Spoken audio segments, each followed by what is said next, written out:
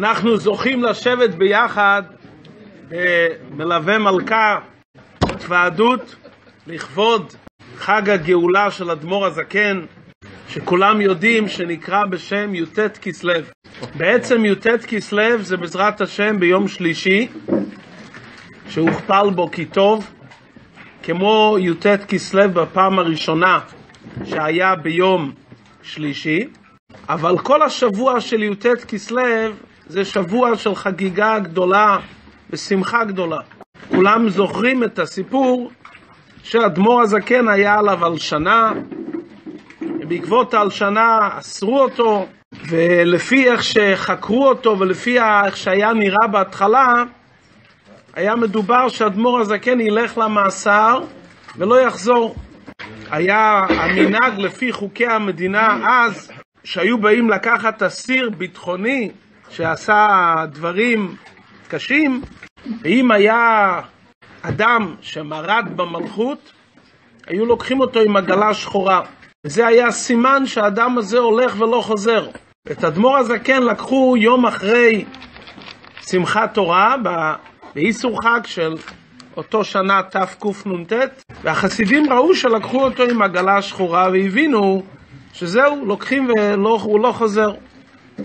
והיה נס גדול, למרות כל החקירות וההלשנות שהלשינו עליו שהוא שולח כסף לארץ הקודש לחזק את העניים כאן, אבל הם הלשינו שהוא רוצה לחזק את השלטון הטורקי שהיה כאן בארץ הקודש וזה היה נגד המלכות של רוסיה, אז בחסדי השם היה הצלה וביום שלישי, י"ט כסלו, הודיעו לו שהוא משתחרר. בפועל זה התמהמה עד שהוציאו אותו והוא היה כמה שעות בבית של יהודי אחר שלא היה כל כך בדעה עם אדמו"ר הזקן וזה התעכב ובסוף הוא יצא בכף. לכן מאז חסידים חוגגים את י"ט כ' כסלו בתור יום שמחה וחג הגאולה. כשאנחנו רוצים להבין מה החגיגה ומה המשמעות של החגיגה, אז צריכים להסתכל מה אמר בעל התניא על החגיגה. בכלל, כשמתעכבים על דבר ומדברים על דבר, יש כל אחד את ההבנה האישית הקטנה שלו, שהיא מוגבלת ולאו דווקא שהיא מדויקת, כי אנחנו אנשים קטנים ומוגבלים, אבל כששומעים מה אמר על זה בעל התניא בעצמו, אפשר להבין קצת מה כוונת הדברים. כולנו יודעים שבעל התניא כתב את השולחן ערוך, כתב את ספר התניא, ספר מרתק, התניא, הספרים שלו על התורה, ליקוטי תורה, וכל עם ישראל ניזון ומושפע מהתורה של אדמו"ר הזקן. קשה למצוא היום יהודי שלא שמע ולא יתחבר לאיזה רעיון או תוכן או הכוונה, מה שכתוב בספר התניא. ועל דרך זה בשולחן ערוך אדמו"ר הזקן. בזמנו קראו לאדמו"ר הזקן רב תנא ופליג. מה אומר אדמו"ר הזקן על היום המיוחד הזה, י"ט כסלו? אז יש מכתב שאדמו"ר הזקן כתב למחותנו, הרב הצדיק רב לוי יצחק מברדיצ'ו, והוא מספר לו במכתב מה, מה היה, בקצרה, הוא מסיים ואומר שהיום הזה, י"ט כסלו, יוקבע למועד תמידי בעם ישראל, ובו יתעוררו אלפים ורבבות לעבודת השם. זה הלשון המדויק שכתב אדמו"ר הזקן. זה היום יוקבע למועד תמידי, בו יתעוררו אלפים ורבבות, מעריך בזה יותר.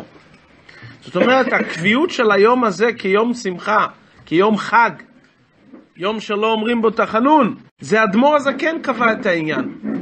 הרי בהרש"ב, אדמו"ר החמישי לבית חב"ד, קרא ליום הזה ראש השנה. ראש השנה ללימוד החסידות, לדרכי החסידות. כשחסידים אומרים משהו, אז הרבה פעמים אומרים חסידים מרוב האהבה שיש להם לרבה, אז הם לפעמים מגזימים. אבל כשהרבה אומר דבר מסוים זה משהו אחר. כשאדמו"ר הזקן אומר שהיום הזה הוא מועד תמידי, הוא קבע את זה ליום שיתעוררו בו אלפים ורבבות, מה יש ביום הזה? מה כל כך מיוחד? הרי מעם, בעם ישראל, מאז יוסף הצדיק שהיה בבית הסוהר, היו עוד הרבה צדיקים שהיו בבית סוהר והלשינו עליהם ויצאו לחירות. לא עשו מזה כזה יום טוב לכל עם ישראל. היה יום טוב למשפחה, לתלמידים. כאן אנחנו מצרפים את כל עם ישראל להצלה שהייתה ליהודי אחד צדיק, אבל היו הרבה צדיקים בעם ישראל שגם חוו כל מיני חוויות, ואף אחד לא חושב לעשות איזה יום טוב לכלל ישראל. היום י"ט כסלו זה יום שכל עם ישראל מציין את זה, בהתוועדות, בשיעור, בלימוד, אבל כולם מציינים את העניין המיוחד של י"ט כסלו, יום ההילולה של המגיד ממזריץ', רבו של בעל התניא, ובעיקר מציינים את העניין של חג הגאולה. האדמו"ר הזה כן כותב שהגאולה שלי הייתה ביום הילול רבה של המורי ורבי המגיד ממזריץ'. שבת המגיד ממזריץ' הרי שנפטר בי"ט כסלו, שבת האחרונה שלו היה ט"ז כסלו, כמו השנה. אז בשבת וישלח, שהוא כבר היה, היה במשכב, הוא קרא לתלמידו בעל התניא, והוא אמר לו, י"ט כסלו זה חג של שנינו. כך הוא אמר לו. אדמו"ר הזקן היה כבר נשוי הרבה שנים, היה לו רק בנות, בנים לא היו לו. כמדומני 14 שנה. הוא ביקש מהמגיד ברכה לבן. אז המגיד אמר לו, כתוב בפסוק, במה יזכה נער את אורחו. כדי לזכות לילד צריכים לה, להקפיד, להדר בעניין של הכנסת אורחים. אדמו"ר הזקן אמר, המגיד אמר לאדמו"ר הזקן, בן ייוולד לך שנה הבאה ותקרא לו על שמי. י"ט כסלו זה חג של שנינו. זה המגיד אמר לאלתרבה, השבת, שבס וישלח ט"ז כסלו, בתקל"ג, בשנת פטירת המגיד, הוא אמר לו תורה על המילים וישלח יעקב מלאכים, שיעקב שלח לעשו רק את הממשות של המלאכים ולא את המלאכים עצמם, תורה על וישלח. יש לנו את התורה שאמר המגיד לאלתרה בהשבת, הוא אמר לו את הבשורה י"ט כסלו זה חג של שנינו.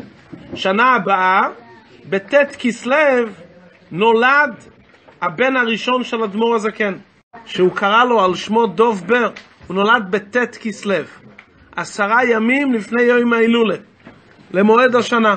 וזה ממלא מקומו של אדמו"ר הזקן, שנקרא בפי החסידים אדמו"ר האמצעי, שקרוי דובר על שם ציווי שאמר המגיד לבעל התניא השבת. הגיע י"ט כסלו, המגיד הסתלק. אז אדמו"ר הזקן הבין מה הכוונה שי"ט כסלו זה חג של המגיד. אחרי 26 שנים, זה המגיד הסתלק בי"ט כסלו תקל"ג. י"ט כסלו תקנ"ט, אז שחררו את אדמו"ר הזקן לביתו אחרי שהיה בסכנת חיים. ואז הוא הבין מה שהמגיד אמר לו, יוטס כסלו זה חג של שנינו. אז מה החג פה? מה החג של יוטס כסלו? שאדמו"ר הזקן יצא ממאסר? הופכים את זה לחג בכל עם ישראל? אין היום נקודה בעולם שלא מציינים את י"ט כסלו בהתוועדות, בהתעוררות, ומה פתאום אדמו"ר הזקן אומר זה יוקבע למועד תמידי?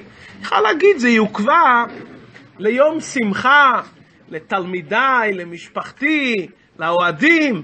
זה יום אחד שיהיה מועד תמידי לכל עם ישראל, להפוך מועד. השאלה יותר מתחזקת, הרי בהרש"ב, שקורא ליום זה ראש השנה, במשנה למדנו ארבעה ראשי שנים. יש ארבעה ראשי שנים, אין עוד ראש השנה. אין דבר כזה להוסיף עוד ראש השנה. ארבעה ראשי שנים, זה מה שיש. אי אפשר להוסיף. בא הרב רש"ב ואומר שי"ט כסלו זה עוד ראש השנה. מה הכוונה? להוסיף על ראש השנה שכתוב במשנה? מה המשמעות של העניין? צריך להגיד לחיים, אנחנו נמצאים במלאב ומלכה ואדמו"ר הזקן שרואה שאנחנו יושבים ביחד ורוצים להתעורר ולהתחמם, להתרומם לכבוד י"ט כסלו, הוא בטח נמצא איתנו. צריך להגיד לחיים, לאו ומלכה, יש לי י"ט כסלו, חיים לחיים. איי איי איי איי איי איי איי איי איי איי איי איי איי איי איי איי דירה איי איי איי דירה איי עם פקק סגור אתה רוצה לתת? איי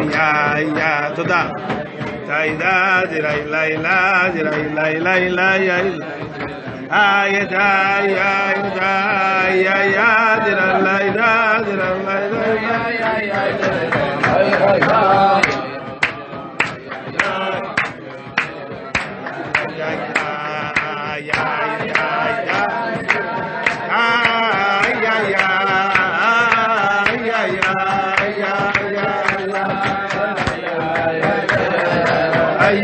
yeah, yeah, yeah.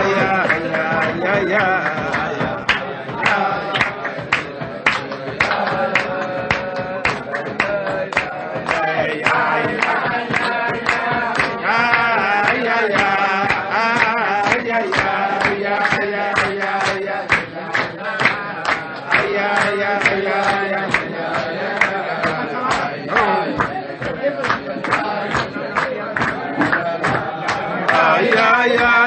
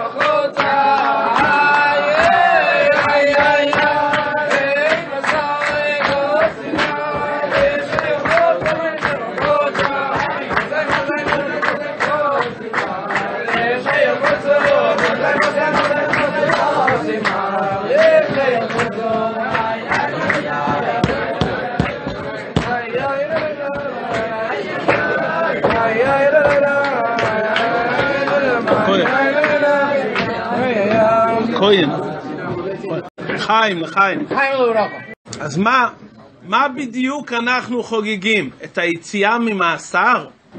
לא את זה חוגגים. אנחנו חוגגים עניין אחר לגמרי. י"ט כסלו זה זמן שמן השמיים נתנו את האישור לגלות בעולם את התורה של משיח. חז"ל אומרים שכל התורה שהאדם לומד בעולם הזה זה הבל לגבי תורתו של משיח. מה הכוונה הבל? איך אפשר לומר הבל? הכוונה לומר שמה שאנחנו היום לומדים, מה שאנחנו מבינים היום בתורה, זה מאוד מוגבל. משיח שיתחיל ללמד אותנו את התורה, אנחנו נראה עומק חדש, הסברים חדשים, שההבנה שאנחנו מבינים היום בתורה מאוד מוגבל לגבי איך שנראה את הדברים בביאת המשיח. מה הכוונה? כשאדם לומד על דבר מסוים ומבין דבר מסוים, יש להתייחס לדבר לפי המעטפת החיצונית, לפי איך שרואים את הדברים בחיצוניות. אחד רואה קצת יותר עמוק, אבל עדיין אתה דן מה שאתה רואה, מה שאתה מבין. ויש שמישהו מלמד אותך לא איך שאתה מבין את הדברים, אלא שנותנים לך את הדברים מלמעלה. כולנו מבינים שאיך שאנחנו לומדים תורה היום, ואיך שלומדים תורה בגן עדן, זה סוג רמה אחרת של לימוד תורה. לדוגמה, פרשת השבוע. פרשת השבוע למדנו על המפגש בין יעקב לעשו. יעקב אבינו עושה השתדלות גדולה לפגוש את עשו. והוא שולח לו מתנות, למצוא חן בעיניו. כשהוא מגיע כבר לפגישה, הוא קורא לו אדוני, הוא אפילו משתחווה אליו כמה פעמים. והוא משתדל הכל לעשות כדי שיהיה מפגש מפויס. הוא מכין את עצמו, כמו שרש"י היום למדנו בפרשה, התקין עצמו שלושה דברים, לדורון, לתפילה, למלחמה, הוא מכין את עצמו, שהמפגש יהיה מוצלח. לא, כשלומדים בפשטות, אז מה, מה המטרה של כל זה?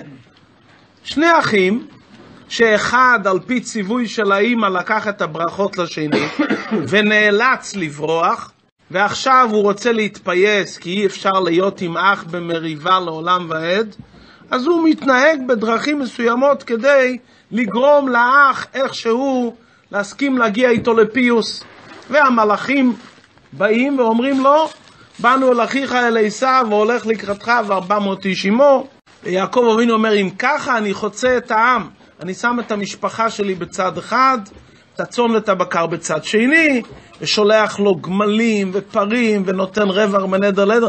סיפור שלם. התורה מלמדת אותנו את הסיפור. שמעיינים בזה על פי פשט, אתה אומר, נו, כמה צריכים לחתור לשלום, לאהבה שתהיה בין אחים? נו, זה על פי פשט. שלומדים את זה על פי איך שמלמדים בחסידות, שהחסידות זה תורתו של משיח. יעקב ועשיו זה עולם התוהו ועולם התיקון. יעקב זה עולם התיקון ועשיו זה עולם התוהו. מה זה תוהו ותיקון? עולם התוהו זה עולם שיש שם אורות גבוהים, אורות תקיפים, אורות מרובים, עוצמה גדולה, אבל חסר כלים שיכולים להכיל את זה. עולם התיקון זה עולם שהאור והכלי יודעים להתמזג בצורה נכונה. לכן זה נקרא תיקון. עולם התוהו נקרא בזוהר אורות תקיפים של תוהו. איפה רואים את זה בעשיו? עשיו אדמוני, אדום, רץ, כל הזמן נמצא בתנועה של לרוץ, לרדוף, לצוד. כל החיים שלו זה חיים אדומים, אדום. כל הזמן במרוצה. יעקב, איש תם יושב אוהלים. כל דבר בשיקול דעת, במחשבה. אז השורש של עשיו זה עולם התוהו, והשורש של יעקב זה עולם התיקון. עולם התיקון זה העולמות אצילות, בריאה, יצירה, עשייה, סדר העולמות עד העולם שלנו. עולם התוהו קדם לעולם התיקון. המפגש בין יעקב לעשיו זה מפגש בין עולם התיקון לעולם התוהו. מה יש לעולם התיקון לרוץ לעולם התוהו? הרי אתה אומר שבעולם התוהו היה שבירה, כי האורות שם היו כאילו גבוהים וכאילו עוצמתיים, שלא היה אפשרות לקבל. עשיו הוא אדום, אבל המילה אדום זה גם אותיות מאוד. ואהבת את השם אלוקיך בכל לבבך ובכל נפשך ובכל מאודיך. יש עבודת השם מוגבלת, על פי טעם ודעת, על פי שכל, על פי הבנה, ויש שאדם מגיע לעומק ומבין שאם אני אעבוד את השם, הכל לפי הפרוטוקול, ויעשה כל מה שכתוב, זה עדיין מוגבל. עוד לא התחברתי לנקודה האמיתית. התחברות לנקודת האמת זה מתי שאתה עובר מערוץ של גבול לערוץ של בלי גבול. באהבתה תשגה מאוד. שאדם שוכח על הגבול ומתחבר להשם באופן אחר לגמרי. אם האדם החיבור שלו להשם זה דרך השולחן ערוך, שזה הדרך היחידה להתחבר להשם. אבל כל זה נעשה באופן מוגבל, מסורטט, מקובע. ככה צריך לעשות, יצאתי ידי חובה, ככה אני עושה עוד יותר טוב. אז יש בזה כמה רמות. אדם אחד למחצה, אדם אחד שליש, אדם אחד כוס מלאה. אבל אי אפשר עם כוס מלאה להתחבר עם האינסוף. להתחבר עם האינסוף זה ברגע שהכוס נשפך על גדותיו. שיש איזו תנועה של בלי גבול. שפתאום האדם מתבטא במשהו שהוא מרגיש, יש פה איזה חיבור מהנשמה, משהו שהוא בלי גבול. כל אחד מאיתנו יודע שידידות, חברות, זוגיות, מתי מתבטא הדברים? מתי שפתאום אתה מגיע לאיזה פרשת דרכים שלפי הפרוטוקול אתה לא חייב ולא צריך ולא מוכרח, אבל מתעורר פתאום משהו פנימי ואתה פורץ את הגדרים. וזה רגע האמת. זה רגע שעברת לערוץ נשמתי אמיתי. מאיפה לוקחים את הכוחות לערוץ הבלי גבול? ערוץ הבלי גבול זה עולם התוהו. תוהו זה אורות תקיפין, זה בלי גבול. עשיו היה מעולם התוהו. הוא היה מעולם ששם משדרים בתדר של בלי גבול. אבל הוא ניווט את הבלי גבול שלו לרוץ בשדה, לצוד, להתנהג בצורה של כמו בעל חי שרץ רץ במרוצה. הטבע הזה הוא טבע נפלא. השאלה לאיפה אתה מנווט את זה. אם אדם הכל עושה הכל לפי הספר, והכל מדוד ומוגבל, אין, לו, אין תלונות עליו. אבל האדם הזה לא יתחבר לנשמה. לא יתחבר. האדם הזה אפשר לומר עליו, הוא עובד מסור, יקבל פרס עובד מסור במפעל. יש לה שם מפעל בעולם, ואתה עובד מסור במפעל, עובד מצטיין. אבל אי אפשר להגיד שהתחברת איתו באופן אמיתי, עצמי, עד הסוף. כי הכל אצלך מדוד ומוגבל. זה שיעקב אבינו כל כך רוצה לפגוש את עשיו, הוא רוצה לקחת מעשיו את הבלי גבול, את הערוץ של הבלי גבול. זה נקרא בלשון החסידות שעולם התיקון רוצה לברר את התוהו, כי בעולם התוהו יש עוצמה שאין בעולם התיקון. והסדר, התהליך שיעקב אבינו עשה דורון, הכין את עצמו לדורון, תפילה ומלחמה, זה דרכי גישה של עולם התיקון לעולם התוהו כדי להוציא את העוצמה באופן נכון. כי יכול להיות דברים עוצמתיים ששוברים את הכלים. אתה צריך לקחת את העוצמה ולדעת איך לאזן את זה בכלים נכונים. לקחת את האורות של תוהו ולחבר את זה עם הכלים של תיקון. בעברית פשוטה, לקחת את ההתלהבות של הנפש הבעמית, את ההתלהבות של היצרים, את ההתלהבות שאנחנו, כל אחד מאיתנו מכיר עד כמה יש לו התלהבות בענייני העולם, שזה ההתלהבות זה דבר חיובי מאוד. אוי ואבוי אם האדם מאבד את ההתלהבות בחיים, הוא מאבד את התשוקה ואת המרץ ואת התשוקה, השם ישמור, זה אדם שאיבד את טעם החיים. המרץ הזה, התשוקה הזאת, זה מקום גבוה מאוד. זה עשיו, לכן הוא בכור. עשיו הוא בכור כי הוא מגיע ממקום גבוה מאוד. אבל מי מנווט את זה בכיוון הנכון? זה יעקב. יעקב לוקח את החלקים העוצמתיים, את הבלי גבול, והוא מנווט את זה במקום הנכון. ואז נעשה חיבור נכון. מה זה הדורון? יש דורון. כשאתה ניגש למישהו עוצמתי, הוא הרי יכול לבלוע אותך. אתה צריך דבר ראשון לתת איזה דורון כדי שיהיה דרכי גישה. שהוא יבין שאנחנו רוצים בכלל להתחבר, שאני מקבל את העוצמה שלו, ואני מבין שיש לו דבר מאוד טוב, ואני רוצה להתחבר לנקודה הזאת. יעקב קורא לעשו אדוני, כי עולם התיקון מסתכל על עולם התוהו, ואומר עולם התוהו זה עוצמות שאין בעולם התיקון. נתאר לעצמנו שאדם יחיה בעולם נפש אלוקית בלי נפש הבעמית. בסגנון של הפרשה יעקב בלי עשיו. זה מחלקת תשושי נפש. שוכבים הכל כל הזמן, כל הזמן אתה מאוזן, כל הזמן אתה, אין לו עליות, לא ירידות, לא רץ לדבר מצווה, לא חביבות, לא תשוקה, אתה עושה את הכל ישר, זה תמונה, זה לא דבר חי. מתי האדם מתחיל להתעורר, מתי יש לאדם פתאום איזו התעוררות? הנפש הבעמית. למה הנשמה ירדה כאן למטה? בשביל הנפש הבעמית. העלייה שנגרם לנשמה יותר מהיותה בגן עדן, זה בזכות הגוף והנפש הבעמית. והגוף והנפש הבעמית זה עשיו, זה עולם התוהו, זה אותו עולם התוהו הפנימי שבתוכי. המון אורות, המון עוצמות, המון תוקף, המון תשוקות. אני לא יודע לאיזה כיוון הוא נווט את זה. העיניים בורקות, אתה כולך בהתלהבות, אתה לא יודע לאיפה לקחת את זה. יעקב עושה את כל המאמצים להתחבר עם עשיו. ומי שלמד השבוע קצת דרושי חסידות, כל פסוק בפרשה וכל מפגש מבארים בדרכי עבודת השם איך לעשות את המפגש בין הנפש האלוקית והנשמה שהיא יעקב עם עשיו. לא כמו טעות העולם, תתנתק מהנפש הבאמית, תתעלם ממנה, תילחם איתה, לא, אל תתעלם ממנה ואל תתנתק ממנה ואל תילחם איתה, תן לה דורון. תגביה אותה, תרומם אותה, תהפוך אותה שהיא תרוץ איתך והיא תריץ אותך למקום שאתה לא יכול.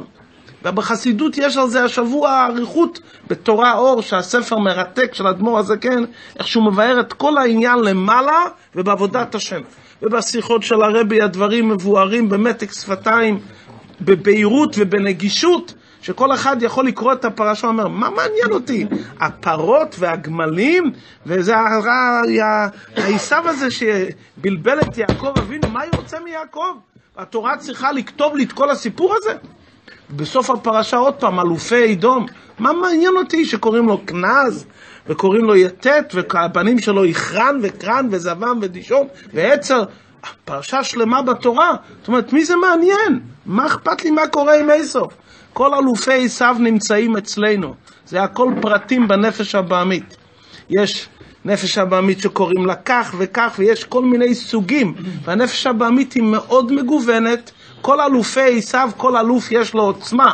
אחד זה מגדיאל ואחד זה אירם, ובחסידות כל אחד מבואר מה עניינו בנפש הבעמית בעולם התוהו, וזה שהתורה מדברת על זה, כי היא אומרת, אתה צריך להיפגש עם זה. אתה צריך לפעול בזה, אתה צריך לגייס את זה לצד הקדושה. זה איך שלומדים את העניין בגן עדן, איך שרואים את העניין בעולם הפנימי בתורתו של משיח. לראות ככה את התורה, ולראות ככה את העולם, ולהתרגל לחיות ככה, לחיות בכזה אופן, שמה שאני לומד בתורה, ומה שאני רואה בעולם, ומה שאני נפגש עם דברים שנלחמים איתי, אני צריך בעצם לקחת את העוצמה שלהם ולרומם אותם לקדושה. אז אומרים לי שפלוני מאיים עליי, ופלוני מפריע לי, ופלוני מציק לי. ופלוני הזה לא יותר גרוע מאיסוף, ולא יותר גרוע מלבן הארמי. ויעקב אבינו חותר להיות עם לבן עשרים שנה.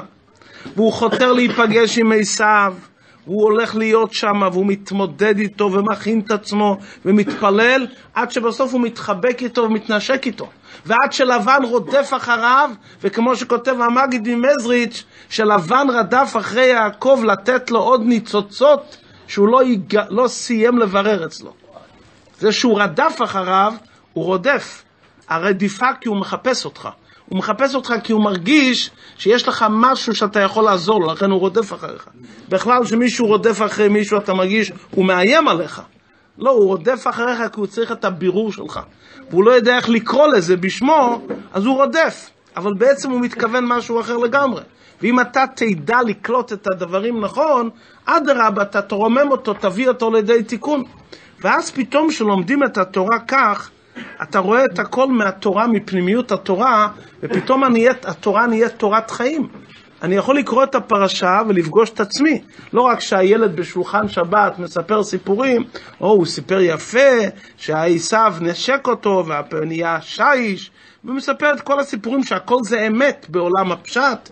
נכון, אבל הדברים האלו הרי זה תורת חיים בסיפור האישי שלי.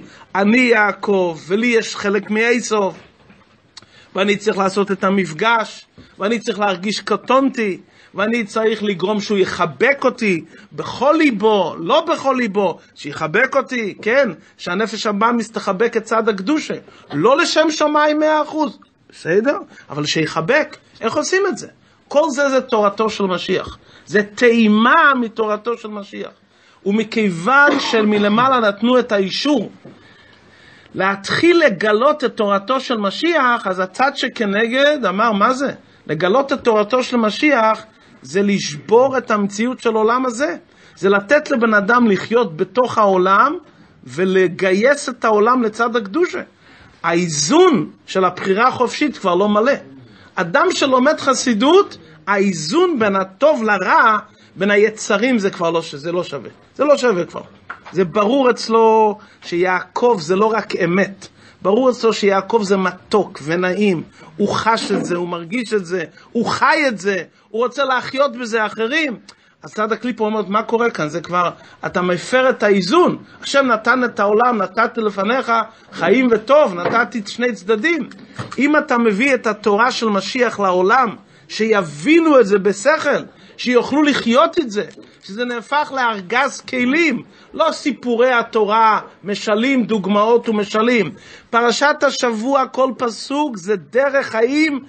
אני עם התלמידים שלי, אני עם השכנים שלי, אני בבית כנסת, אני בבית עם הילדים, אני עם זה שמציק לי בעבודה. כן, זה ארגז כלים לפתור את הדברים באופן פנימי ואמיתי, לפי האמת של הדברים. אז זה משהו שונה.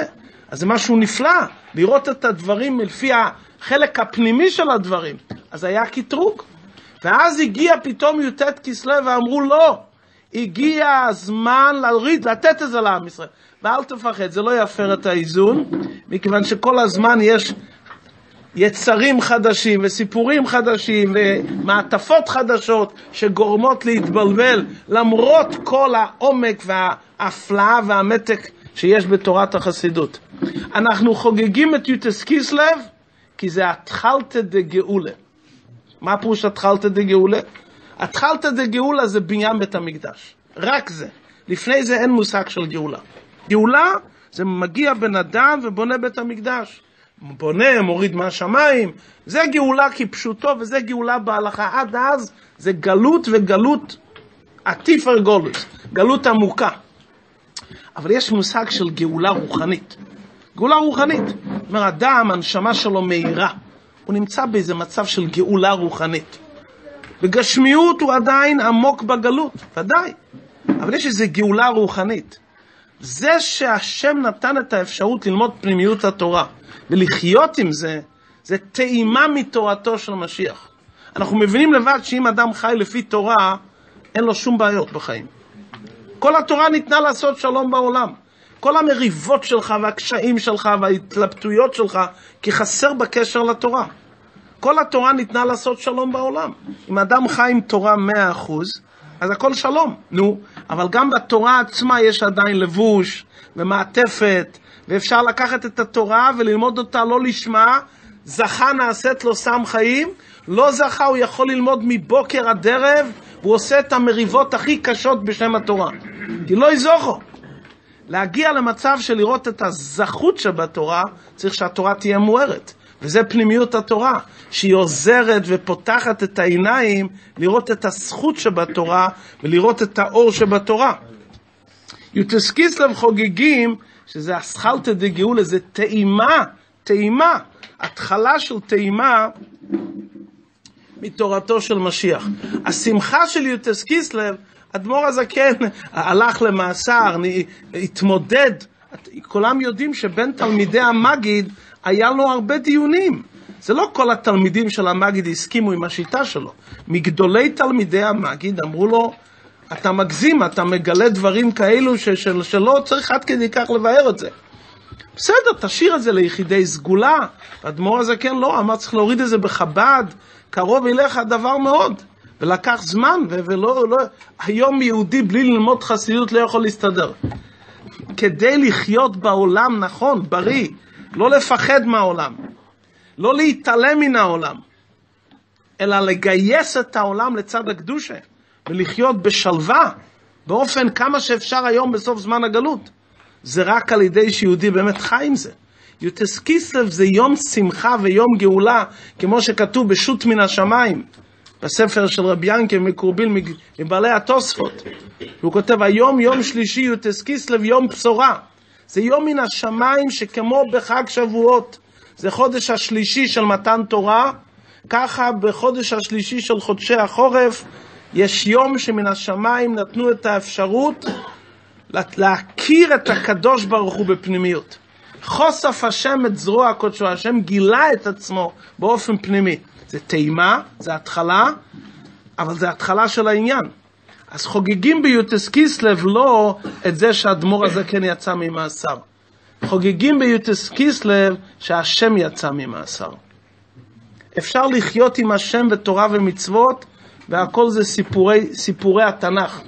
סיפורי התנ"ך ומאמרי חז"ל, זה הכל יפה, זה, זה אמרות וזה ורטלח, זה מובן, אתה מבין, אבל זה דברים גבוהים, עמוקים, אתה רואה את הכל עם איזה מעטפת, בסדר, זה דברים גבוהים, אי אפשר לדבר עליהם כי הם נסתרים, הם לא מובנים, ואתה מבין שזה לא כוונה כפשוטו, ואם זה כן כפשוטו, הכוונה רק חלקית וכולי, ואתה מסנן את הדברים לפי הנפש הבעמית שלך ולפי השכל המוגבל שלך, כי אתה לא מתמודד מול שאלות, יש הרבה שאלות. המון שאלות, למה הוא עשה ככה ולמה הוא עשה ככה, ולמה התורה מספרת את זה ומנציחה דברים שהם נראים מאוד מוזרים ולא מכובדים, הייתכן הוא יתנהג ככה והוא יתנהג ככה, וזה האבות שלנו והאימהות והצדיקים שלנו וכולו וכולו, הדברים לא נראים כמו שצריך טוב, נכון? אם אתה לומד את זה עם המעטפת, אז הקדוש ברוך הוא עדיין נסתר בתוך זה. אתה לא יודע איך להסתדר עם זה. שלכן היו בעם ישראל הרבה שנים שלא למדו דברים מסוימים מתוך התורה עצמה, וגם היום יש מקומות שלא לומדים כל מיני דברים, כי זה לא בדיוק מובן ולא בדיוק מסתדר. ניקרו ולא מתרגם וכולו וכולו, זה על פי תורה ככה.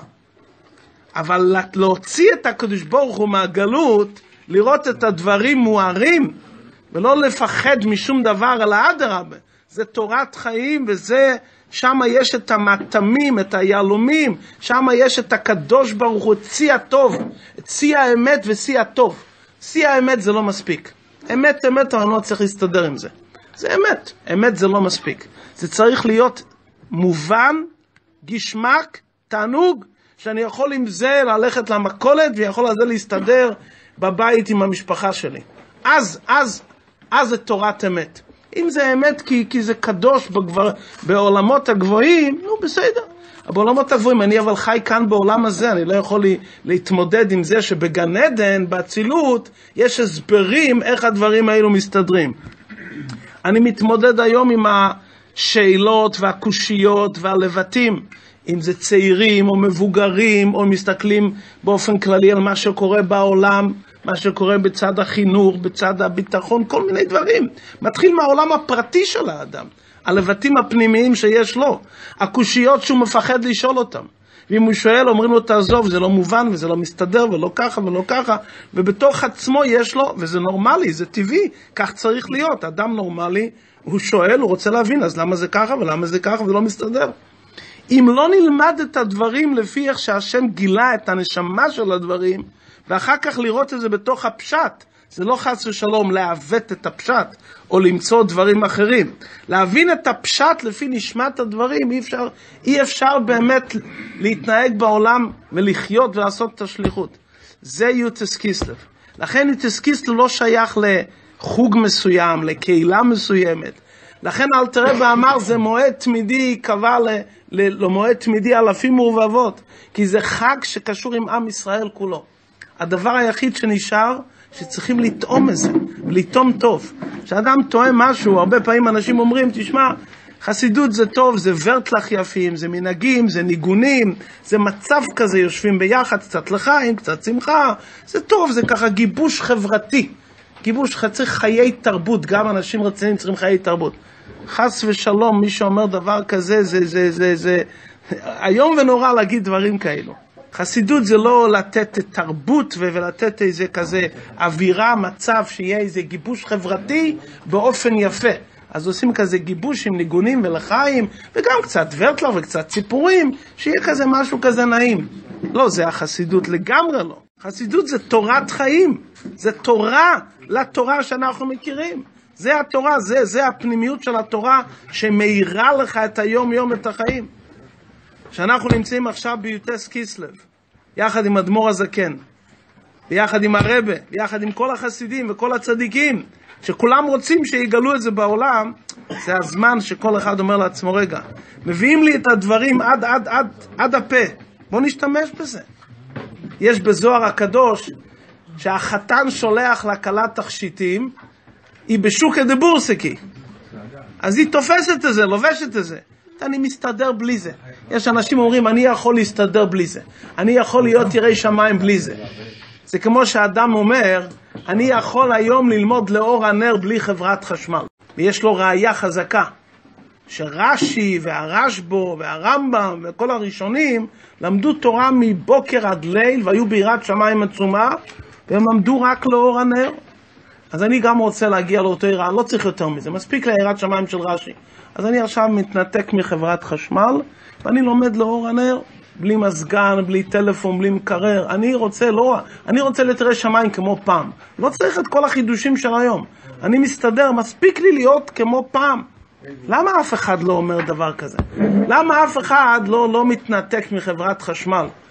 וכל אחד מחפש שהמקרר יהיה יותר גדול ויותר קר, והמזגן יהיה יותר טוב, והטלפון יהיה יותר מחובר לרשת. למה?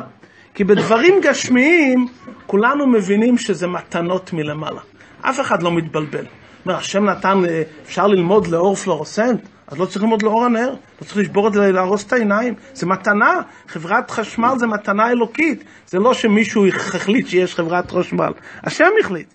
אם אפשר לעזור ליהודי דרך הטלפון ברגע אחד לעזור לו, אז מה, אני אשלח לו מכתבים שיגיע אחרי חודשיים? יכול לעזור לו תוך רגע אחד. אז האדם מבין שכל הדברים האלו זה, זה מתנה מלמעלה.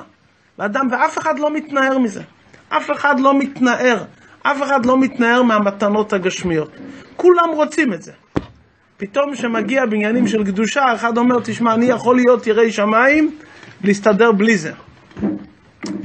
אי אפשר להסתדר בלי זה. לא יעלה על הדעת שהחתן שולח תכשיטים, והכלה אומרת, אני יכולה אבל להסתדר עם תכשיטים שקיבלתי לפני מאה שנה. לא, צריכי את התכשיטים החדשים. חבר'ה, לחיים, לחיים, י"ט כסלו, חיים. כן, זה התחלה, התחלה. התחלה. הדד זה מלך שלא יהיה לו מתיקון. יש שבע מלכים ומלך שמיני. השבע מלכים שמתו זה אורות תקיפין של תוהו שלא היה להם קיום. המלך השמיני, הדד, זה המלך של עולם התיקון, ששם יכול להיות יופי ותיקון. זה מלך השמיני. למה זה שמיני ולמה זה שבע? צריך לדבר על זה. אבל המלך השמיני זה עולם התיקון. קוראים היום פרשה, ואף אחד מתבייש לשאול, מה מעניין אותי כל הסיפורים האלו? הוא רוצה מתנות והוא רוצה זה, ואחר כך הסיפור עם האלופים? מה זה קשור אלינו? קוראים את השמות שלהם. זה הכל מדברים עלינו, עלינו היום ועכשיו. המפגש עם הנפש הבעמית שלי.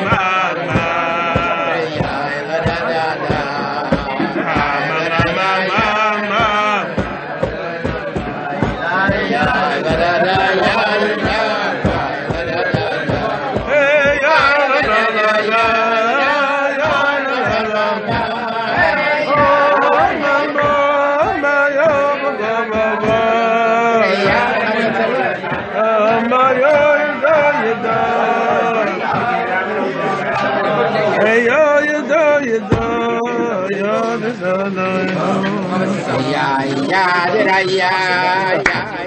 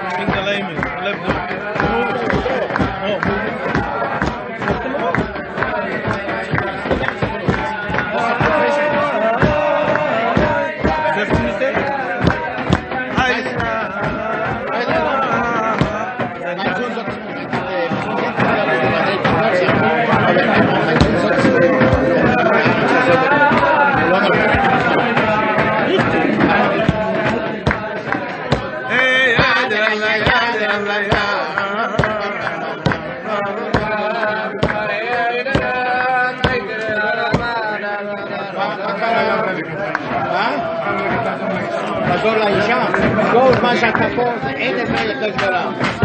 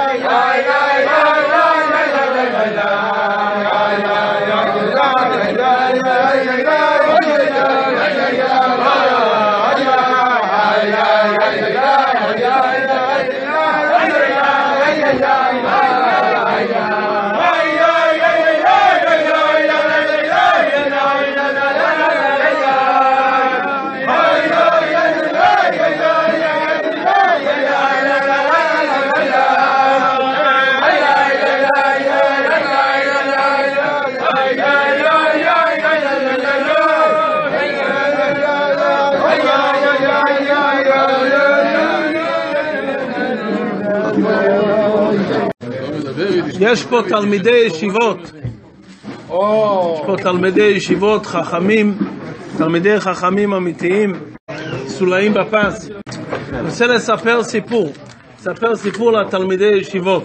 תלמידי ישיבות זה עולם אחר לגמרי. בכלל צריכים לדעת, שאלתי את הרב רבקין אם אני יכול לדבר לתלמידי ישיבות בצורה פתוחה. הוא אמר, בטח, הם כלים, הם כלים. צריכים לדעת שתלמידי ישיבות זה עולם אחר. ישנם דברים שהם נכונים, הם מתאימים למי שחי על פי תורה. יש דברים שתלמידי ישיבות זה רמה אחרת לגמרי. תלמיד ישיבה זה משהו אחר. תלמיד ישיבה זה שבט לוי, שבט לוי. שבט לוי זה עומדים לשרת בקודש, עומדים לפני השם, זה משהו אחר לגמרי, צבא השם. משהו אחר, חיל השם, צבא השם. אדמו"ר הזקן, בתקופה שהוא היה עדיין תלמיד של המגיד, בחיים חיותו של המגיד, המגיד מזרי שלח אותו לעבור בעיירות ולדבר חסידות. באותו זמן היו מפחדים מאנשים מוזרים. גם היום מפחדים מאנשים מוזרים. השאלה מה נקרא מוזר, מה נקרא נורמלי, זה כל השאלה. תזכרו את המשפט הזה. השאלה מה נקרא מוזר ומה נקרא נורמלי, זה כל השאלה. מדברים מוזרים צריכים להיזהר. שאלה מי מגדיר מה זה מוזר, מי מגדיר מה זה נורמלי. מי מגדיר? איך אני יודע? לפי מה אני יודע זה נורמלי וזה מוזר? מהרשתות, המדיה, מי מחליט מה נקרא מוזר ומה נקרא נורמלי? צריך לה, זה צריך לדון בזה. אבל דבר ראשון, לפני שמחליטים מה נקרא מוזר, מה זה נורמלי, צריכים לדעת איפה לשאול את השאלה. נו, אז כשאדמו"ר הזקן הגיע לאיזה עיירה, זו הייתה עיירה, קראו לה שקלוב. היא הייתה עיירה שהיו שם הרבה גאונים, והיה עליו את המצווה של המגיד, של המגיד לדבר חסידות. לדבר חסידות. אז הוא הגיע שם לבית כנסת, באמצע השבוע כנראה זה היה, הוא ניגש לגבאי, לרב, והוא אמר, אני רוצה להגיד דבר תורה. אתם מרשים לי לעשות הפסקה, יש לי סיפור, סיפור בתוך סיפור. כשמפסיקים באמצע, צריך להגיד לחיים, לחיים. את הסיפור הזה שהסוגריים באמצע, זה סיפור ששמעתי, שמעתי סיפור מיהודי ששמע את הסיפור מהבעל, מהבעל המעשה. הרבי שלח לפני 70 שנה, הרבי שלח שלוחים למרוקו. השלוחים הראשונים של הרבי היו למרוקו. היה רבי מיכאל ליפסקר ורבי איידלמן, רב שלום איידלמן. היו שלוחים ראשונים לפני 70 שנה. שלוחים הראשונים בתוך השיבה של ההסתלקות של אדמו"ר הרייץ, הרבי שלח שלוחים למרוקו. כשהם הגיעו למרוקו, הם היו צריכים, התפקיד שלהם היה לפתוח חדרים, בתי ספר, תלמודי תורה. הם עברו מעיר לעיר, מכפר לכפר, לפתוח בתי ספר, חדורים, מקומות שלומדים תורה. אני לא מזמן, לפני שלוש-ארבע שנים, יצא ספר תולדות חב"ד במרוקו. ספר מאוד יפה. ספר מאוד יפה, תולדות חב"ד במרוקו. מאוד יפה.